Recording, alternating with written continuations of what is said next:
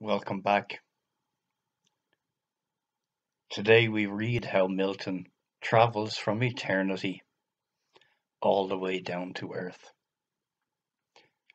And traveling through the universe is explained in a way of moving through what Blake calls vortexes, which we might understand as tubes of space that one goes through in a linear fashion.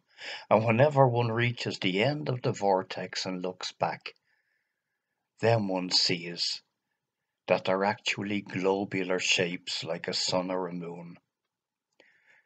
And Blake explains that in our world, we see everything in a linear way.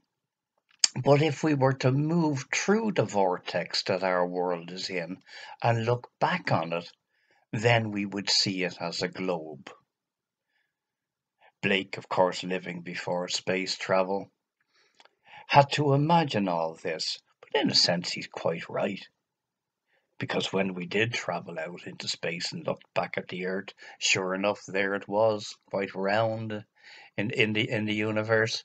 And it makes me think too that in a way it brings together the the flat earth believers and the believers in the spherical world as both being correct in a way, and all that they're really doing is looking at things through the two perceptions. The one perception as traveling through the vortex, and the other perception as looking back when you've exited. So, Milton on his travels then he meets poor Albion, who's in a bad way, laid out on the rock of ages. He's in a kind of a sleeping death, I guess. And running up against him in a, in a threatening way is the sea of space and time, which I think is probably best understood in the Kantian way that space and time are the preconditions for human sensibility. In other words, every which way we experience our earth is through these limitations of space and time, and we never really get to see reality for itself unless we become an eternal. And that, of course, is what Los is busily in his forge crafting. He's crafting arts to raise the human imagination, to bring itself out out, out of this um, out of this limitation.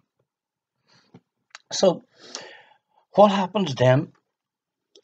Milton breaks through into the sea of space and time our world. And then all of a sudden what happens is is that there there's a reversal that what he saw from the perception of outer space um, Albion underneath him and him traveling down to take a look at him now all of a sudden he's down in this sea of time and space.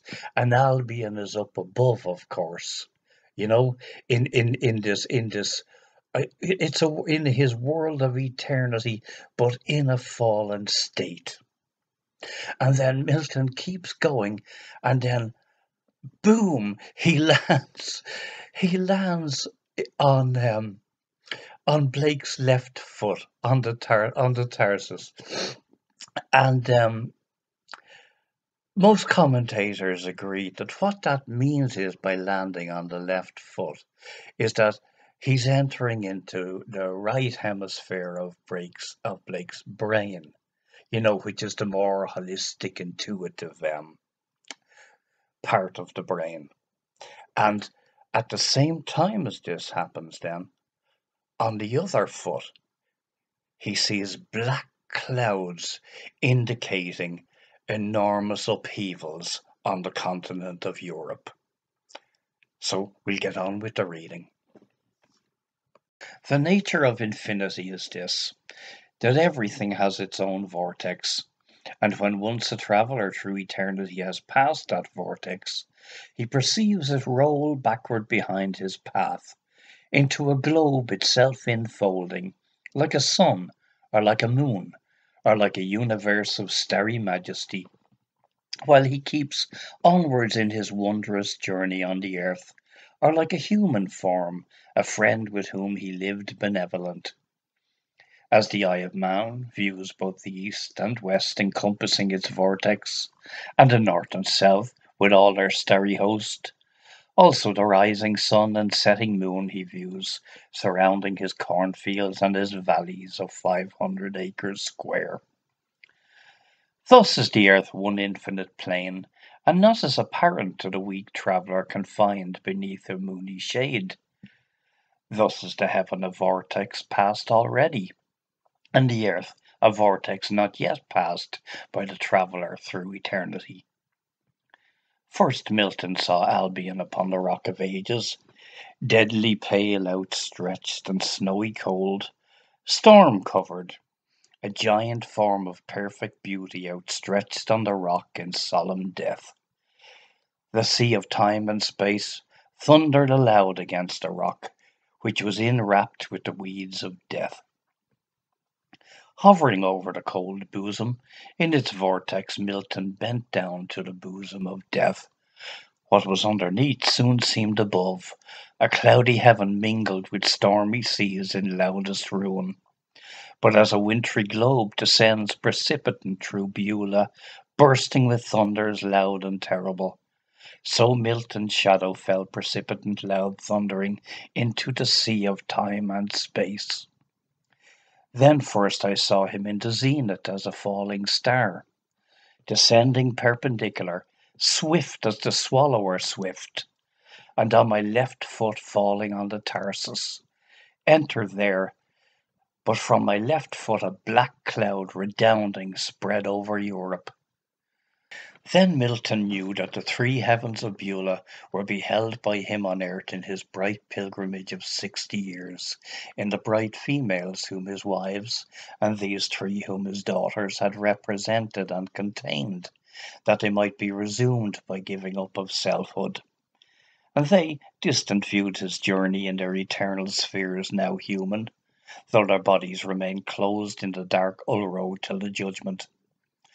Also Milton knew they in himself was human, though now wandering through death's vale, in conflict with those female forms, which in blood and jealousy surrounded him, dividing and uniting without end or number. He saw the cruelties of Ulro, and he wrote them down in iron tablets. And his wives and daughters' names were these Rahab and Tirzah, and Milcah and Malah, and Noah and Hoglah. They sat ranged around him as the rocks of Horeb round the land of Canaan, and they rose in thunder, smoke, and fire his dictate. And his body was the rock Sinai, that body which was on earth born to corruption. And the six females are Hor and Peor and Bashan and Abarim and Lebanon and Hermon. Seven rocky masses, terrible in the deserts of Midian. But Milton's human shadow continued journeying above the rocky masses of the mundane shell, in the lands of Edom and Aram and Moab and Midian and Amalek. The mundane shell is a vast concave earth, an immense hardened shadow of all things upon our vegetated earth, enlarged into dimension and deformed into indefinite space, in twenty seven heavens and all their hells with chaos and ancient night and purgatory. It is a cavernous earth of labyrinthine intricacy, twenty seven folds of opaqueness, and finishes where the lark mounts.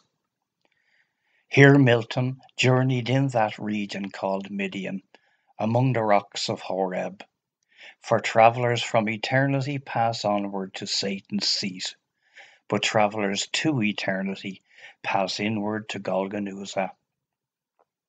Los the vehicular terror beheld him, and divine Enitharmon called all her daughters, saying, Surely to unloose my bond is this man come.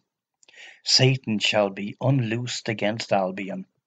Los heard in terror Enitharmon's words. In fibrous strength his limbs shot forth like roots of trees against the forward path of Milton's journey. Urizen beheld the immortal man. So you might have caught my error at the um, at the very end of the introduction, where the um, where Milton entering into Blake's body and the black clouds coming from his body both happen at the left foot, not at the left and right foot.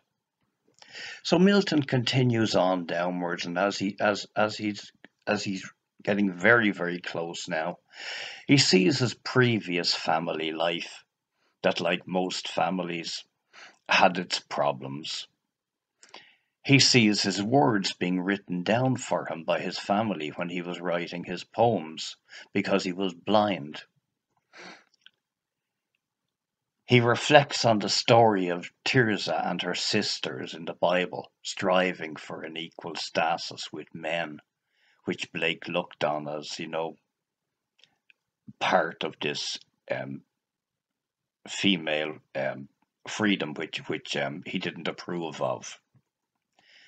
Then it says Milton enters the world of the 27 ages of false religion, which of course is the same thing as saying the, the whole history really of human life on earth.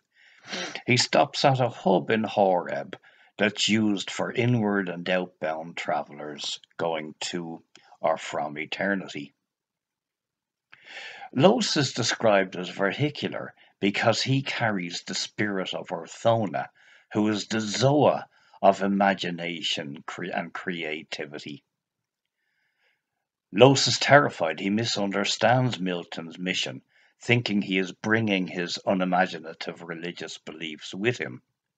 Enitharmon, on the other hand, is delighted, thinking that somehow or other his arrival will break her bond to Los. And at the very end, it introduces the Zoa Urizen looking on at all these proceedings. So that's it for now. I hope to see you next time. Bye bye.